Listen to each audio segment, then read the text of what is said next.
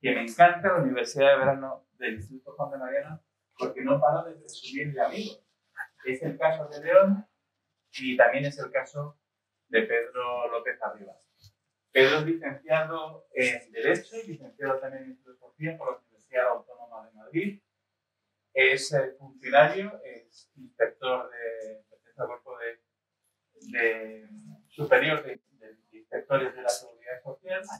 Es un eminente eh, ateneísta y ha sido presidente del Centro Riojano durante 11 años. Sí, más o menos. Más o menos. Y, y, si León nos ha hablado de la Escuela de Salamanca, Pedro nos va a hablar eh, de un autor que es previo. Así que vamos a poder situar a estos autores de la, de la Escuela de Salamanca en un contexto más amplio. Así que adelante, Pedro. Muchas gracias. Eh, buenos días a todos. Gracias, José Carlos, por la invitación, en primer lugar, por la presentación también. Y como ven, yo he puesto un mapa que alguno dirá, pues parece que es un mapa de Europa, pero algo antiguo, ¿verdad? Un poco antiguo. Ahí no está Bélgica, no está Holanda, ¿verdad? Cosas que... Eh, es un mapa de comienzos del siglo XVI y justamente vamos a hablar de un momento trascendental en la historia del pensamiento, no solo del pensamiento económico, sino del pensamiento en general. Y de un autor que es precisamente el que hace ese gran cambio.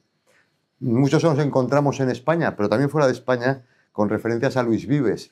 Es verdad que son referencias perdidas habitualmente, porque pues, puede pensar la gente que es una calle, Luis Vives, o es un, centro de enseñanza, eh, y, no, se, no se percibe con facilidad siempre que es un señor también, ¿no?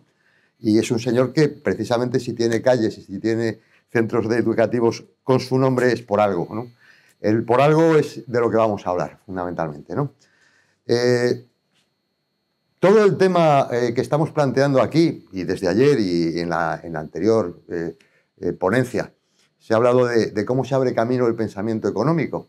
En realidad no se abre camino el pensamiento económico, se abre camino el pensamiento.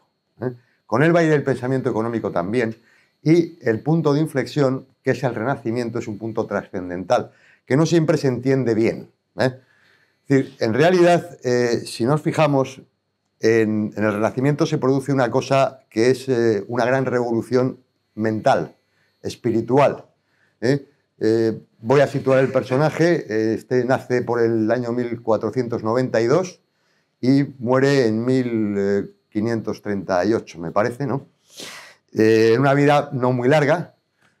no la pasa casi nada en España. Él procede de una familia de judíos conversos que si entramos en su biografía eh, la persecución que recibe de la Inquisición causa asombro, ¿verdad? A su madre la desenterraron como 20 años después de muerta para quemarla. Y dices, hombre, pues un judío converso, dice, hombre, sin embargo fue un gran católico, un hombre de, pensamiento católico incuestionable. ¿eh? No, no hay margen para la duda ahí. Es verdad que el padre de Luis Vives, que también murió en la hoguera, ¿verdad? pues tuvo la precaución en el año 1509 de mandar a su hijo, que ya tenía 17 años, a estudiar a Europa, a París, y ya él se dio cuenta de que, de que volver a España podía comportarle riesgos, de manera que eh, ya se instala en Brujas. Brujas, si nos vamos a este mapa, pues Brujas la tenemos más o menos por, como por aquí, esto es Flandes, pues por aquí, muy cerca de Inglaterra. ¿no? El río Zin, que la conectaba con el mar, y era una, ciudad comercial en la que había una colonia eh, comercial castellana desde el siglo XIII. Es verdad que eh, se pierden de vista estas cosas y son muy importantes, ¿no? La lana castellana eh, invade el mercado, los mercados de Flandes en el siglo XII-XIII y se hace la más importante. Luego en la guerra de los 100 años entre Francia y Inglaterra, entre los siglos XIV y XV, el, el historiador belga Jacques Pirén llega a afirmar, y no es inexacto, que el gran vencedor entre la guerra entre franceses e ingleses, en términos navales, fue España. Entre otras cosas porque la flota castellana se hace con el Mar del Norte, al igual que la flota eh, aragonesa se hace con el Mediterráneo, y los portugueses inician la exploración del Atlántico. ¿no? Es decir, que España sí que sale muy fortalecida de esas crisis, pero porque tenía posiciones muy bien asentadas. ¿no? De hecho, Vives eh, no solamente vive en Brujas, sino que se casa en Brujas y, como se pueden imaginar, con una dama de la colonia española, que también era de familia de judíos, de judíos conversos. ¿no? Pero hombre, tanto judío, tanto judío, bueno, pues él era muy amigo de Adriano de Utrecht, que fue inquisidor general de España, sucesor de, Cisneros, el puesto de inquisidor general, que luego fue papa, Adriano VI. Adriano de Utrecht fue el gran protector de Erasmo de Rotterdam, otro personaje del que a continuación tendremos que dar alguna referencia. Y es muy amigo también, y de hecho se cartea con él en la época en la que sacan el cadáver de su madre para quemarlo, que está allá por 1529, eh, sacan el cadáver de la tumba, se cartea sobre este tema también en particular eh, con el inquisidor general de entonces, que se llamaba Alonso Manrique, que le sonará igual el, apellido porque efectivamente es sobrino del gran poeta, la voz más escuchada en verso español sobre la muerte es Jorge Manrique, ¿no? Ciertamente. Bien, pues era sobrino de Jorge Manrique. Es decir, que está en un entorno en el que, vamos, de hecho, él recibe una pensión de, Luis Vives, digo, del emperador Carlos V, le dedica alguno de sus trabajos, viene a España de visita en alguna ocasión, no se suele quedar porque con los antecedentes que tenía, también es verdad que si investigamos en la biografía, la madre de Luis Vives había mantenido una sinagoga secreta eh, en la ciudad de Valencia y eso, pues hombre, la Inquisición no lo pasaba por alto con facilidad. ¿no? Pero bueno, eh, es verdad que, causa asombro la, persecución que recibió su familia por parte de la Inquisición, en unos años en los que además son inquisidores que tanto Cisneros, van en secuencia, Cisneros, Adriano de Utrecht y Alonso Manrique, son erasmistas. Son, vamos, Adriano de Utrecht es el gran protector de Erasmo de Rotterdam. Y Erasmo y Vives, como Tomás Moro, forman un trío, mm, fueron muy amigos entre sí, no se cartean mucho, incluso eh, ahora veremos también cómo los viajes a Inglaterra de Luis Vives o también de Erasmo de Rotterdam tienen mucho que ver con Tomás Moro. Y los tres configuran, digamos que, la tríada magna del de, eh, momento cenital del Renacimiento, que es justamente el primer cuarto del siglo XVI, cuando el erasmismo triunfa en todo el mundo. El Papa es erasmista, el emperador es erasmista, los príncipes respetan, eh, ayudan, contratan, llaman a Erasmo de Rotterdam Erasmo de Rotterdam es, eh, digamos que, la gran cima espiritual del Renacimiento y su obra principal, en ese sentido, en este del que hablo, tiene mucha obra y, sería largo y no estamos hablando de él, el dedicarse a, centrarlo, pero sí que es importante citar el elogio de la locura. El elogio de la locura, que es una mala traducción, ¿verdad? Eh, aquí en España abundan las malas traducciones. En el, en, el, en el buscón de Quevedo nos encontramos a un clérigo que traducía necesidad caret lege, la necesidad carece de ley, por la necesidad tiene cara de hereje, ¿no? porque como sonaba. En fin, ese tipo de traducciones no son buenas. En realidad, el elogio de la locura debería de haberse llamado el elogio de la estupidez. ¿Qué ocurre? ¿Por qué hace un elogio de la estupidez eh, eh, Erasmo de Rotterdam? Bueno, eh, la filosofía en la Edad Media no existe. El pensamiento no existe en puridad, sí que existe, ¿no? evidentemente sabemos que existe. En realidad todo es teología. Lo, cierra magníficamente en una frase que habrán visto ustedes en las escrituras notariales, pero que no se hizo con esa finalidad, aunque los notarios se habrán apoderado de ella. Es de, de Raimundo Lulio, el filósofo mallorquín, siglo XIII, principios del XIV muere, eh, que es el último intento desde el platonismo de resolver los problemas que ya estaba planteando el incipiente aristotelismo que había venido por los árabes a través de la Escuela de Traductores de Toledo. ¿no? Él dice, nil prius fide, nada antes que la fe. La fe es todo. Todos los saberes están subordinados a la teología. De hecho, los debates del averroísmo son justamente esos. La verdad racional y la verdad eh, teológica o, revelada pueden coincidir o no. Hay dos caminos para alcanzar la verdad o solo hay uno. Eh, ¿Hay dos verdades o solo hay una? Ese es el, el gran debate medieval, ¿no? Y un poco lo cierra justamente si se fijan en el mapa, ¿verdad? No solo es un mapa del siglo XVI, en realidad es un mapa de lo que llamaríamos la cristiandad.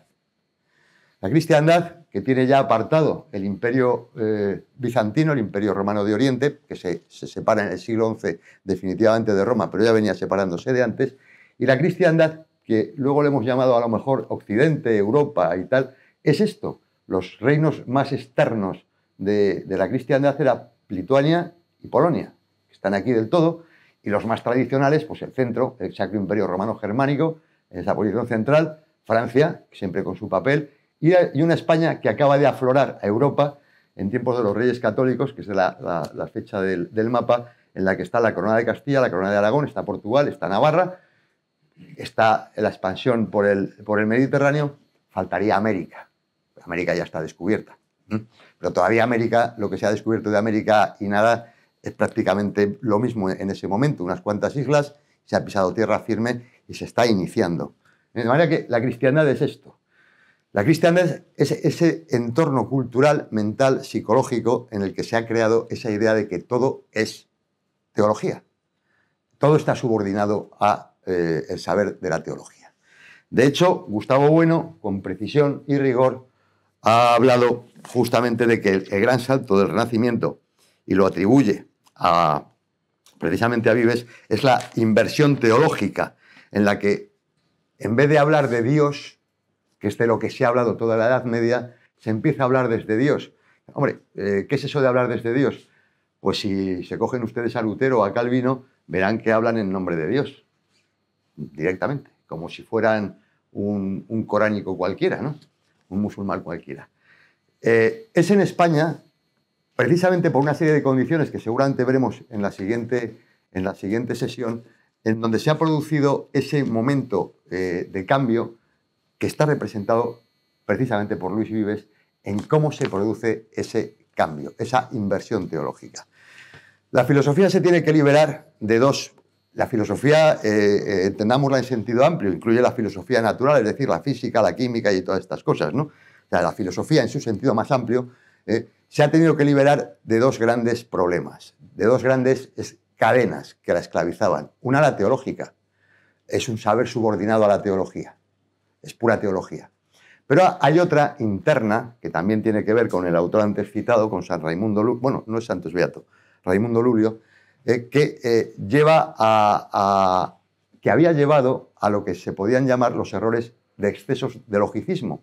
Ustedes pueden estudiar hoy los paralogismos y las falacias, que están muy, muy identificadas, muy sabidas, pero que entonces en la Edad Media eran moneda común. Habrán, por poner un ejemplo simple, que igual han oído alguna vez, ¿no? Por un clavo se pierde una herradura, por una herradura se pierde un caballo, por un caballo se pierde un general, por un general se pierde una batalla, por una batalla se pierde un imperio y por un imperio se pierde un mundo. Luego por un clavo se pierde un mundo. eso se llama paralogismo porque efectivamente estamos dando por incondicionados eh, cosas que son condicionadas. El clavo no tiene por qué ser de una herradura, puede ser de un mueble, la herradura no tiene por qué ser de un caballo, puede ser de una mula o de un burro. Eh, el general no tiene por qué ser eh, el, que manda el ejército, que puede ser un subordinado. La batalla no puede, ser, puede no ser decisiva, etcétera, etcétera, etcétera. Entonces, hay todos unos errores en lógica.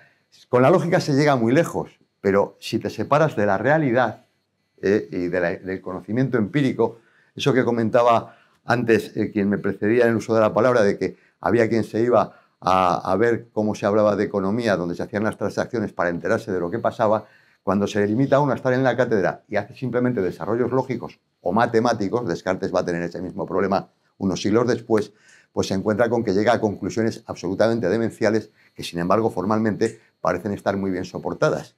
Entonces, hubo que emancipar, en primer lugar, en el Renacimiento, eh, la, filosofía de la lógica. La lógica es lo formal, la filosofía sería el contenido material y hablaría de la realidad, no solo de Dios, ¿verdad? Y luego hay que emanciparlo de la teología. Precisamente eh, Luis Vives, en su De Disciplinis, que es una de sus obras más importantes, lo que hace es organizar eh, los nuevos saberes, cómo se han de enseñar, cómo se han de tratar, de enfocar, se mete en las ciencias. de hecho, bueno, él estuvo en Inglaterra y, allí se encuentra con una corriente que con el tiempo viene de Rogerio Bacon, siglo XIII, que también es un, es un eh, escolástico franciscano. La escolástica franciscana y la escolástica dominica no vamos a entrar en matices, pero sí conviene que sepamos que son bastante diferentes. La, la franciscana es más bien platónica, mientras que la, la de los dominicos es aristotélica. ¿no? Entonces, eh, Rogerio Bacon se eh, introduce en esa línea eh, que va a terminar determinando en Inglaterra el nacimiento del empirismo. Es primero de los que empieza a estudiar el tema de la experimentación para las ciencias y ese, y ese tipo de conocimientos, entonces considerados muy menores. El pensamiento económico, lo han explicado, pasa aparecido. En el fondo, nace todo de reflexiones morales y de reflexiones políticas. ¿Eh? es muy importante el, tema político y el tema moral para las decisiones que se toman en muchos ámbitos, en ámbitos del saber, en ámbitos de las actuaciones, en ámbitos de los conocimientos específicos, justamente la reflexión sobre los temas económicos, que es más antigua, eh, que se puede buscar, se puede rastrear en tiempos más remotos y en autores más anteriores, eh, pero tiene esa, vinculación tremenda de moral y poder. Una de las mejores cosas que he hecho ha sido la de crear junto con otros amigos el Instituto Juan de Mariana. En estos años hemos defendido la libertad sin excepciones, con valentía y con la voluntad de acoger a todos los amigos de la libertad. Nosotros no aceptamos dinero público porque no queremos depender de los políticos, de modo que te animo a que te sumes y te hagas miembro del Instituto Juan de Mariana eso de que eh, acuñe moneda cualquiera, no, acuña el príncipe, por ejemplo, ¿no? Y luego eh, que, las eh, medidas económicas, los impuestos, etcétera, etcétera, lo que se busca es establecerlos desde el punto de vista de la justicia. Para esto es fundamental. Pues mire, justamente él, Vives en su De Disciplinis, lo que hace es establecer los saberes específicos, concretos, y no incluye entre ellos la teología. La teología ya es un saber especializado que vendrá detrás, pero no puede ser. Es verdad que Luis Vives no es clérigo, sin embargo Erasmo de Rotterdam sí que era clérigo. Como clérigos son casi todos los que hemos comentado, vamos, todos los hombres de la Escuela de Salamanca, no necesariamente dominicos ni necesariamente jesuitas, porque algunos son también eh, eh, sacerdotes seculares. Erasmo de Rotterdam era sacerdote secular. De hecho, su vinculación con eh, eh, Adriano de Utrecht era porque había sido su obispo en, Flandes, ¿no? Y, le había gustado lo que escribía, lo que hacía y lo que planteaba.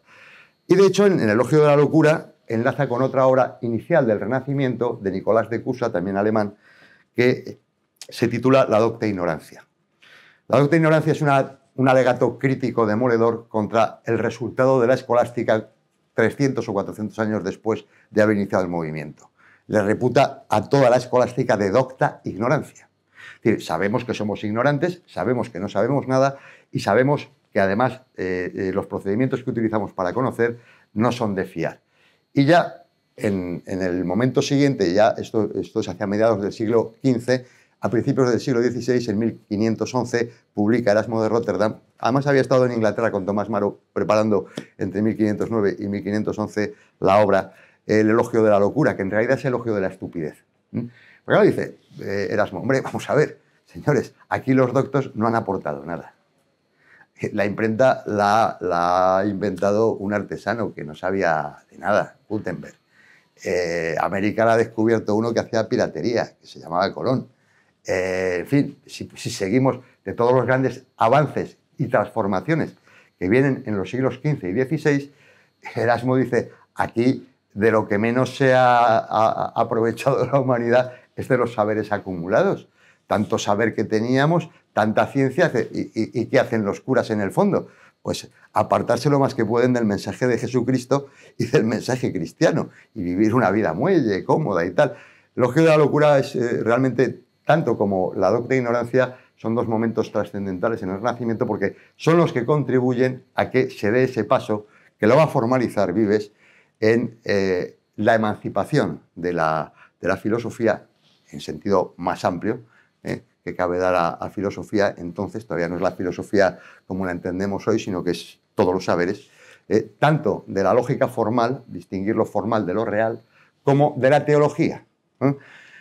Vives efectivamente da ese salto, da ese salto y Vives es la gran cabeza filosófica del erasmismo es el gran pensador del Erasmismo. Erasmo es un hombre que está en lo espiritual, en lo religioso, centrado, lo estará toda su vida. Incluso veremos ahora porque creo que es un tema importante para entender eh, determinados fenómenos y, desde luego lo que estamos explicando, eh, eh, que es el choque con el protestantismo.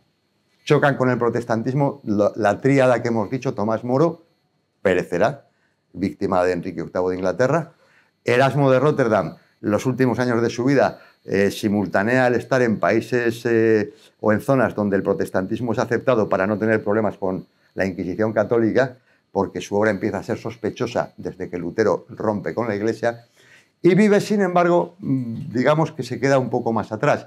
Él no era sacerdote tampoco, Vives, y eso le permite moverse con facilidad, sobre todo estaba en Brujas, que estaba fuera del alcance de la mano de, bastantes de las principales organizaciones que practicaban la intolerancia, Brujas es el Flandes católico, pero era más tolerante que otras zonas. Y además todavía el protestantismo en Flandes no hacía estragos, los causaba un poco más arriba en las provincias, en lo que luego fueron las provincias unidas de Holanda, Zelanda, eh, fin, Overijse, eh, etc. Es decir, lo que sería luego Holanda o, Países Bajos. En la parte de Flandes son católicos y tolerantes. Y eh, el personaje, pues hombre, no solamente se dedica a eso, realmente él hace también una serie de consideraciones políticas no es especialmente jurista, pero sin embargo, cuando estuvo en Inglaterra entre 1523 y 1526, fundamentalmente, pues le hicieron doctor en Derecho Civil por la Universidad de Oxford, que no está nada mal. Eh, él no enseñó, no enseñó eh, Derecho, enseñó fundamentalmente Humanidades en, Inglaterra. Fue preceptor de la entonces princesa de Gales, la, la luego futura reina María Tudor, y en la crisis eh, matrimonial de Catalina de Aragón y Enrique VIII, él interviene también y eso le depara, no vamos a entrar en detalles, eh, le depara el tener que salir huyendo de Inglaterra hacia 1526 y ya no vuelve a pisar por allí. ¿no? Eh, se refugia de nuevo en Brujas, donde estaba tranquilo y seguro, y continúa sus obras. Justamente en este año de 1526 hace una obra que es muy importante, de la que Marjorie Grice Hutchinson la trata con cierta delectación no en, no en la Escuela de Salamanca, sino en una obra posterior de 1978, El pensamiento económico temprano en España, entre 1177 y 1740. Porque es imposible pasar por esas fechas sin reparar en la figura de Luis Vives. El Tratado de Socorro a los Pobres de Luis Vives eh, es una obra mm, que tiene dos ediciones en el mismo año y que en realidad es, aparte de un tratado sobre el socorro a los pobres, que preludia los sistemas de beneficencia moderna y, si queremos, de, los sistemas de protección social modernos, lo que hace en realidad es un programa de atención a las masas de pauperadas que había en la zona, más o menos en todo el centro de Europa, también en Brujas le llegaba en la época. Con unos distingos muy interesantes sobre el trabajo, la causa de la miseria, la causa de la riqueza, que no siempre es injusta la causa de la riqueza, como decían algunos, ni siempre es eh, injusta la causa de la pobreza. También hay quien es pobre por mérito propio, ¿verdad? Eh, y hace también una serie de consideraciones económicas sobre eh, distintos aspectos que van a dar lugar a que el Ayuntamiento de Brujas adopte un plan fundado en el Tratado de Socorro a los Pobres de atención a los pobres en la ciudad de Brujas. ¿De dónde venían esos pobres? Bueno, fundamentalmente esos pobres venían de la gran crisis del siglo que se produce en 1521, fundamentalmente tras la dieta de Worms, de cuando eh, Lutero rompe eh, con Roma, definitivamente. Es verdad que él había clavado sus tesis en, la Catedral de Habsburgo en 1517, pero la ruptura formal no se produce hasta la dieta de Worms en 1521. Y entonces ese mapa, que representa la cristiandad, lo que hace es romperse. Todo lo que es la parte norte de Europa, más Inglaterra, Sajonia, si nos ponemos por aquí, ¿eh? veremos que es toda esta parte de Sajonia para arriba, la que se queda en manos protestantes, se monta un gran terreno de conflicto ¿eh? entre católicos y protestantes en Polonia, en Lituania, en Alemania, en Francia, norte de Italia incluso, en Hungría. Y en España, y eso es importante, y es un tema que vale la pena reflexionar sobre él, de si nos fijamos, no hay pegada del, protestantismo. Dirán algunos, hombre, es que la Inquisición se emplearía a fondo. No les quepa duda, se empleó a fondo. Pero el problema también deberíamos mirarlo con otra óptica. En toda la Edad Media, en toda la Edad Media, miren que hubo herejías, léanse a Borges, que tiene inventariadas todas prácticamente, ¿verdad? Pues eh, en España ni una herejía pegó, ni una sola, jamás, ni los dulcinistas, ni los albigenses, nunca, nunca hubo aquí eh, movimientos heréticos que tuvieran pegada. Me refiero al conjunto de España, a, España y Portugal. curiosamente, ninguno de los dos eh, se produjo eh, jamás arraigo de ninguna herejía en toda la Edad Media. Bueno, el protestantismo es una gran revolución. Y él, uno de los primeros, probablemente el primero teórico, y volvemos a la tríada de Tomás Moro, de Erasmo de Rotterdam y de Luis Vives, el primero que sale a, plantear objeciones al tema de la reforma va a ser justamente Luis Vives. Y en correspondencia privada, directa, con el entonces Papa Adriano VI, Adriano de Utrecht, en el que, por así decirlo, Vives se da cuenta el primero, luego Erasmo va a tener la misma reacción y, Tomás Moro lo paga con la vida. el protestantismo es muy estrecho. Es un traje muy estrecho para el nuevo espíritu renacentista que nosotros representamos. Piensa. Esto, esto no va a ningún lado. Esto en realidad no es una eh, propuesta de renovación de la, de la Iglesia tan necesitada entonces de ella, pero que eso se lo planteaban también los católicos, como una reacción precisamente frente al espíritu renacentista. De alguna manera, el protestantismo, pese a que eh, Hegel en sus lecciones de filosofía de la historia o en sus lecciones de historia de la filosofía ha querido revestirlo de culminación del renacimiento, sería realmente el antirrenacimiento. Y el primero que se da cuenta de ello es Vives. De hecho, eh, luego eh, dedica la obra que le dedica al, emperador Carlos V y por la que recibe una pensión que más o menos le cubría la mitad de los gastos vitales, unos 150 ducados anuales, me parece que tenía, una cosa que, era una cifra en la época respetable, es de Desidis, la, disidencia dentro del mundo católico, eh, en de que es de 1526 también, ¿no? pues eh, plantea ya esas cuestiones. La carta a la que me refiero al Papa eh, Adriano VI es de 1522, año siguiente de la ruptura formal del protestantismo. Y en ella es importante dos aspectos que tienen que ver uno directamente con la economía. En primer lugar, eh, él se opone, eh, como luego hará en, debate, eh, hay dos libros, uno de Lutero contra Erasmo y otro de Erasmo contra Lutero, respecto al, a, la, libre voluntad del hombre para salvarse, tema central en aquella época. ¿no? Mientras reconoce Erasmo el, libre arbitrio, o sea, la voluntad libre, Lutero dirá servo arbitrio, la voluntad, estamos predeterminados. ¿no? la, doctrina de la predestinación, que es protestante básicamente, aunque también hubo católicos, pero es básicamente protestante. Eso de que eh, una vez que el hombre ha nacido ya es demasiado tarde para salvarle o condenarle, ya el plan de Dios está establecido que será condenado o será salvado, ¿no? Ya está. Eh, sin embargo, se revela y precisamente Vives en su carta al Papa Adriano VI le dice, bueno, en primer lugar tenemos el tema de la libertad, somos libres. Luego matizaremos esto de que en qué sentido somos libres, ¿no? Pero desde luego somos libres para salvarnos o condenarnos, ¿no? que es un tema trascendental en la época. Para la, conciencia de cada individuo, en aquel entonces, el hecho religioso, vivían en la cristiandad, que, una cristiandad que se está rompiendo. ¿no? Pero el, segundo es justamente, y habíamos venido a este lado, si recuerdan, de por qué había tantos pobres en Brujas. ¿no? Es que junto con la reforma protestante se produjeron enormes violencias para despojar a monasterios, abadías y obispados de sus bienes por parte de los nobles eh, que se hacían protestantes para hacerse con esos bienes. Pensemos que aquí veremos, eh, por ejemplo, Prusia la vemos por aquí, pero malamente. En realidad encontramos la, orden teutónica. Lo que hace el gran maestre de la orden teutónica es convertirse en señor de Brandenburgo, quedándose con los bienes de la orden y con la orden. Luego serán reyes de Prusia y luego unificarán Alemania, pero varios siglos después, ¿no? Bueno, como esos príncipes, los de Sajonia hicieron parecido, los de Dinamarca, los de Suecia, los de Noruega, Enrique VIII de Inglaterra. Y simultáneamente se produjeron grandísimas convulsiones. La guerra campesina de Alemania es el hecho más conocido, 1524-25, eh, pero se, estaban produciendo grandísimas.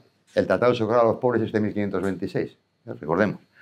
que, que, eran grandes masas de pauperadas huyendo de las violencias que se habían desencadenado a los protestantes entran en, escena en, el siglo XVI haciendo auténticos atropellos, eh, matando monjas, matando curas, en fin, eh, se trataba de, quitarles los bienes a la iglesia y quedárselos, pues en principio los señores, los campesinos pobres dicen, ¿y por qué nosotros no? Una pregunta muy razonable, ¿verdad? Y también lo intentan, la guerra campesina, pero Lutero ahí da un giro y eh, si bien Vives no se le escapa y dice, no, y el culpable es Lutero, al abrir la veda de la, de, la usurpación de, las de los bienes eclesiásticos, le ha abierto la vía a que cualquiera diga, ¿y por qué yo no? Claro.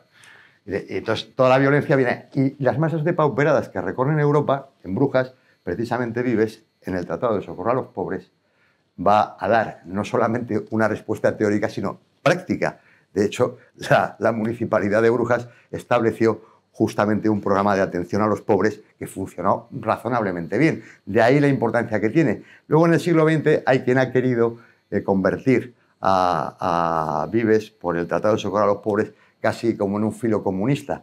Pero bueno, ese tipo de cosas, antes en el debate de la sesión anterior se planteaba alguna cuestión sobre la teología de la liberación de los jesuitas, daría, como decía el, ponente anterior, daría para todo un debate y probablemente para todo un ciclo, así que tampoco entraré yo ahí.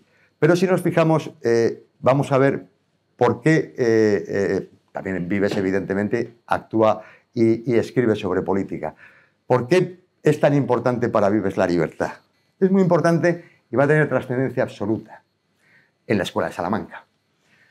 Para Vives, el tema de la libertad se plantea en unos términos, ahí hay que conviene que también mentalmente nos situemos en una situación diferente a la que tenemos hoy en día. Cuando hablan de, reinos, no hablan de reinos ni de imperios, hablan de repúblicas. Eh, vos, Señor, eh, majestad, que gobernéis estas repúblicas. es una forma absolutamente usual de hablar hasta prácticamente el siglo XVIII, cuando aparece la República Norteamericana, y entonces el, tema del republicanismo se plantea en otros términos. Hasta entonces se hablaba de el rey que gobierna estas repúblicas, ¿no? porque las repúblicas, su nombre puro es el Estado. El Estado es república, res pública, en fin, conocerán, me imagino, la, genealogía de la palabra, pues no hace referencia a una forma de gobierno, sino a lo que es la cosa pública, res pública. ¿no? Bueno, pues Vives se plantea en una de sus primeras obras políticas, las declamaciones silane, eh, son declamaciones silanas, se refiere, él hace un diálogo socrático con eh, Pompeyo y otros, y con, Sila, el dictador romano, en el que se plantea a Sila que va a dejar el poder y le plantean que qué va a hacer si, deja el poder. Pues hombre, establecer un principado, no hombre, no, eso está fuera de la tradición romana y de la, República Romana.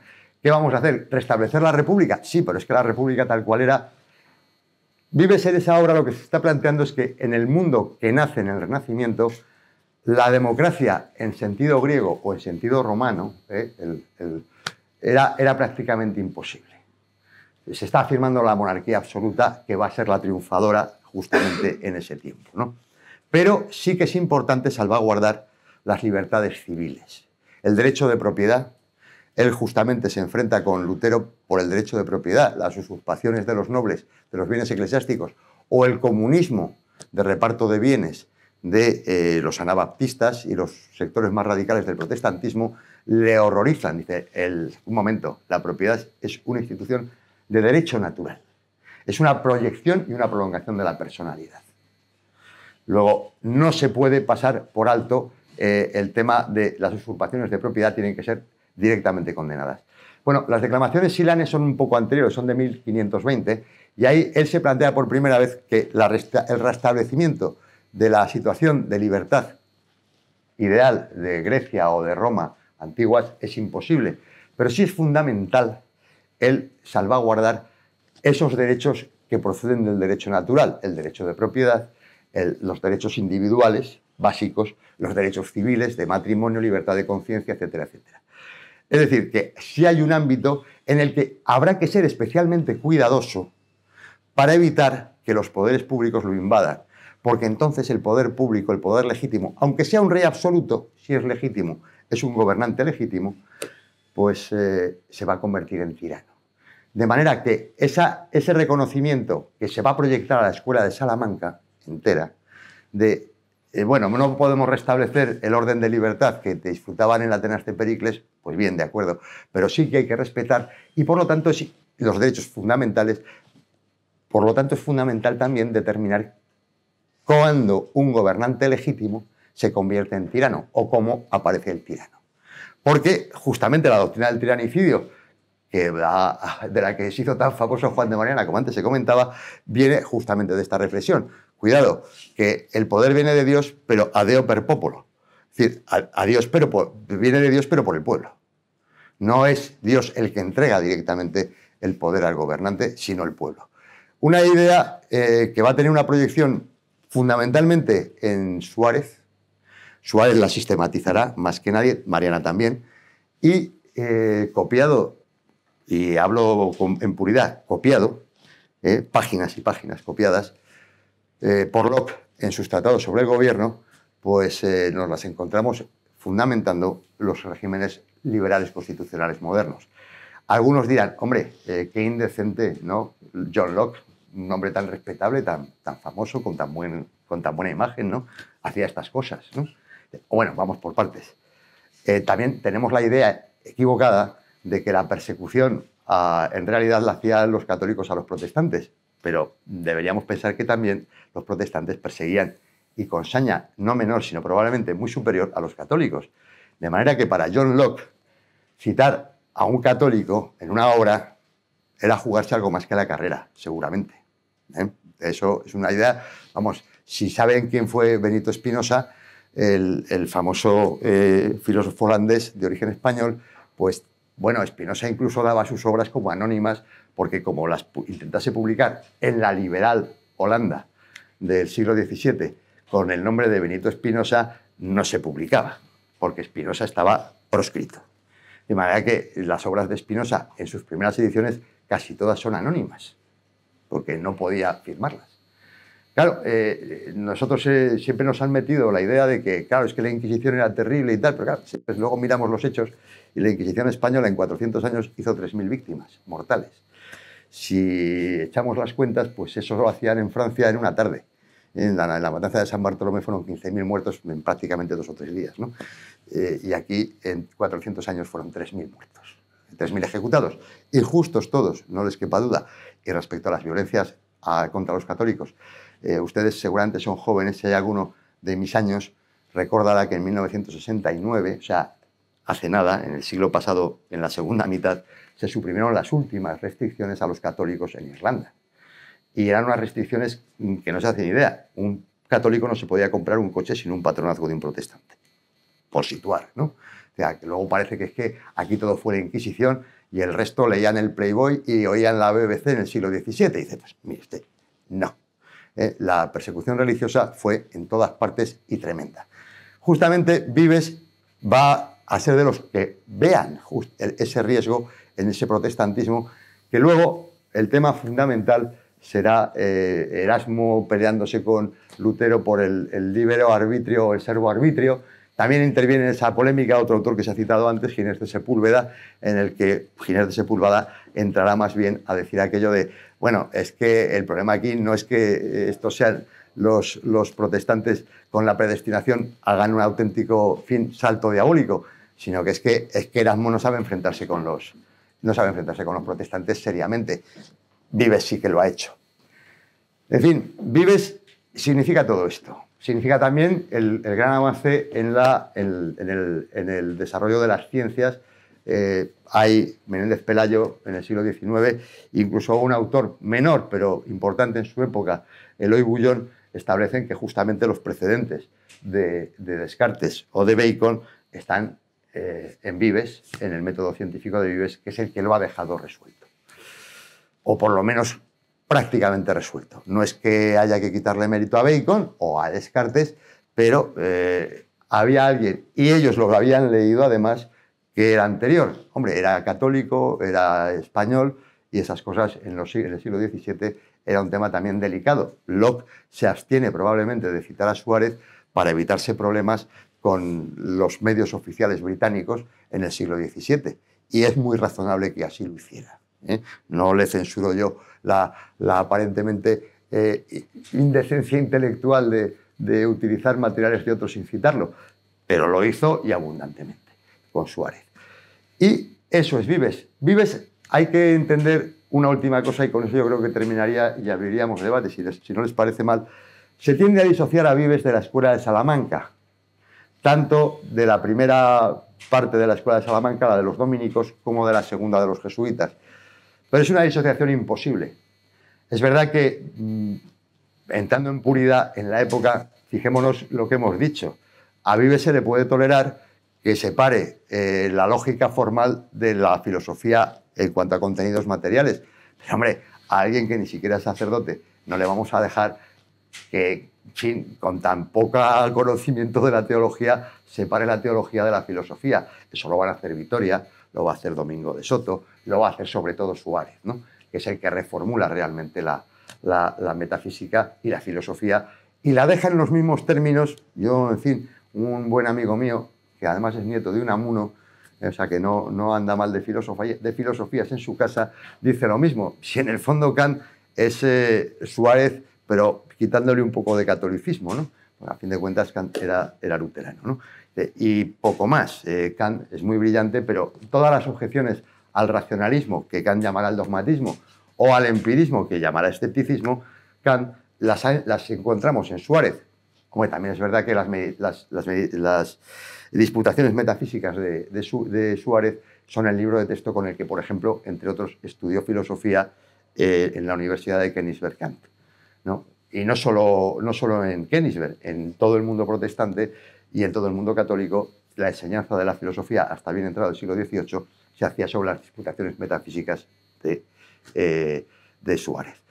Entonces, de manera que eh, ese, ese, salto, que de alguna manera se mira menos a, Vives de lo que se debiera, de emancipar la filosofía de la teología, eh, lo acometerá de lleno, pero sobre las bases de Vives. Y por eso esa disociación de Vives de las escuelas de Salamanca es una cosa que suena fatal. Ortega y Gasset, que en, este, en, esta materia, y no voy a entrar en el tema porque no vale la pena, eh, considera que no hubo renacimiento español, en fin, pues unas cosas. Sin embargo, dice que es el primer gran intelectual serio de Europa, Vives. Y no le falta razón, ¿no? Entonces, esa disociación es imposible.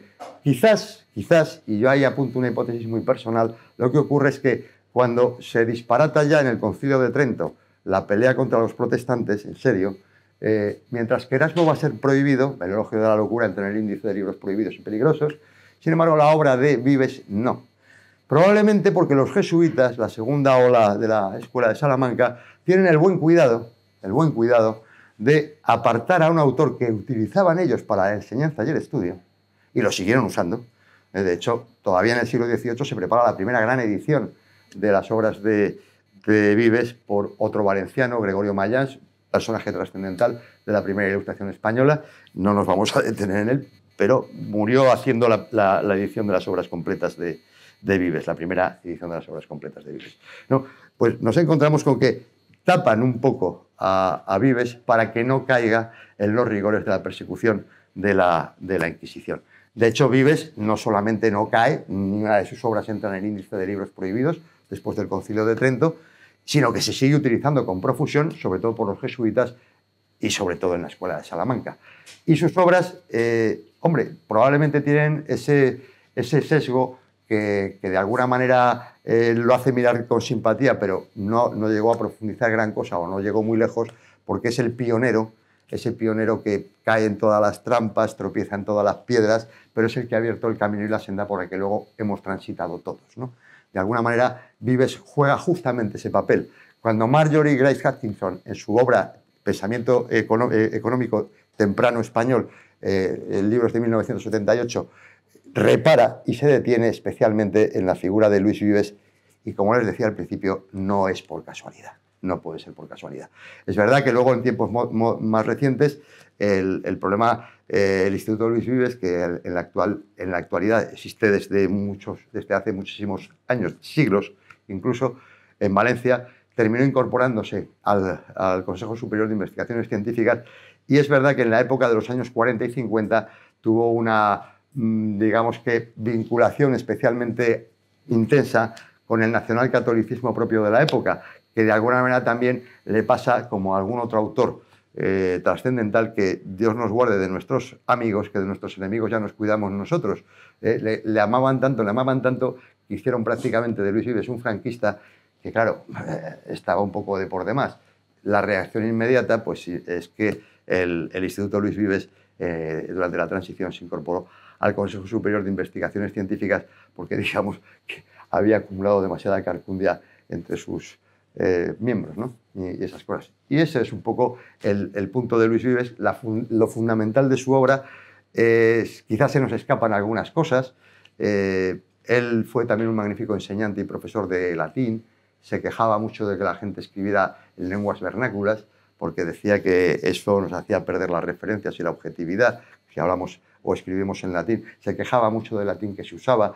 No me extraña, como antes decía, el, que el, ponente que me precedía, que probablemente hasta tiempos de Adam Smith se enseñó en, las universidades inglesas en, en, latín y en las alemanas, pero también hay que ver el latín que hablaban. ¿eh?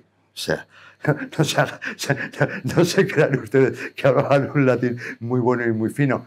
Bueno, Kant se carteaba, con Benjamin Franklin, eh, el norteamericano se carteaban en latín, porque los dos manejaban el latín, ¿no? Pero claro, dices, el latín que manejaban los dos eh, deja bastante que desear, desde luego están muy lejos de Horacio, de Virgilio y esas cosas, ¿no? Pero bueno, eh, esto es Luis Vives, un personaje trascendental, central, quizás un tanto oscurecido, yo recuerdo, y lo cuento finalmente como anécdota personal, cuando yo terminaba los estudios de filosofía, apareció en España una edición muy recomendada para estudiosos, incluso para profesores, la, historia de la filosofía del siglo XXI, dirigida por un ilustre profesor francés, Yvon Belaval, que eh, ni menciona Vives ni menciona la Escuela de Salamanca. Un poco también ahí nos encontramos con los viejos problemas de la leyenda negra que, tanto, tanto daño causan en el, en el exterior y sobre todo en el interior en la medida en que se asumen. Pues muchas gracias por su atención.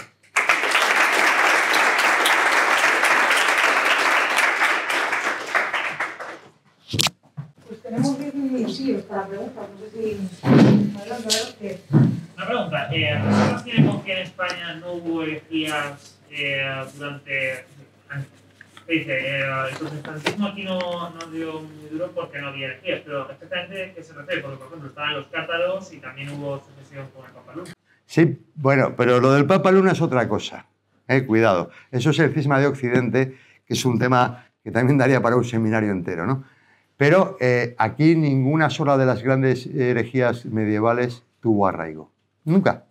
Es verdad que probablemente se debe al hecho terrible de que eh, eh, aquí había que pelear con los moros y andarse con tonterías, pues hombre, cuando tenías a, los moros, pues pensemos cuando están en la línea del Duero, ¿no? Pues que, están a, dos minutos, por así decir, del camino de Santiago, ¿no? y ahí hay peregrinos.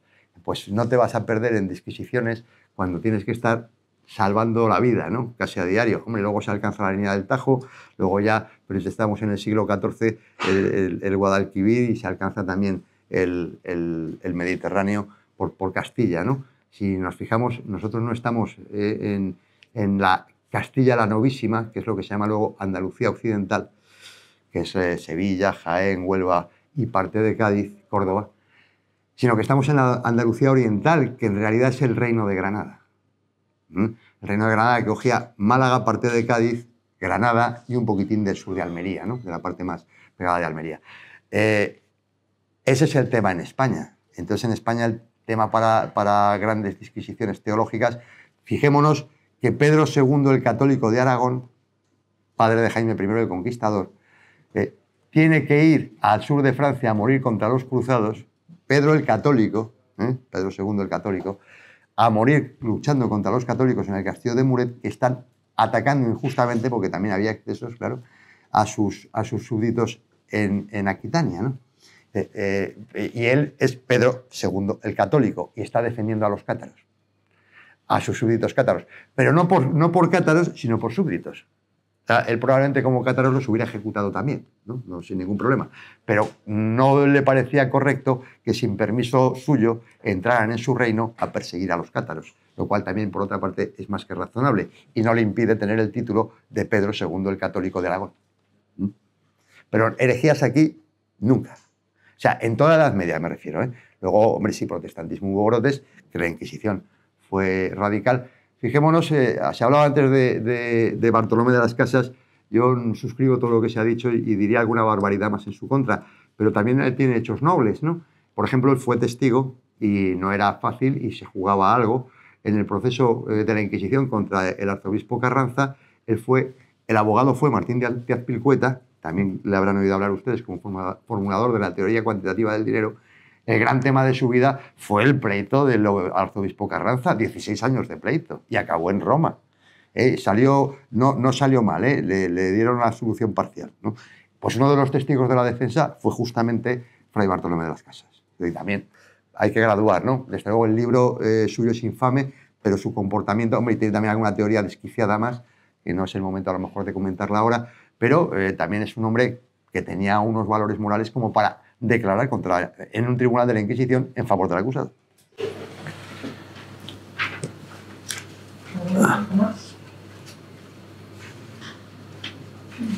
Bueno, pues muchísimas gracias, Pedro.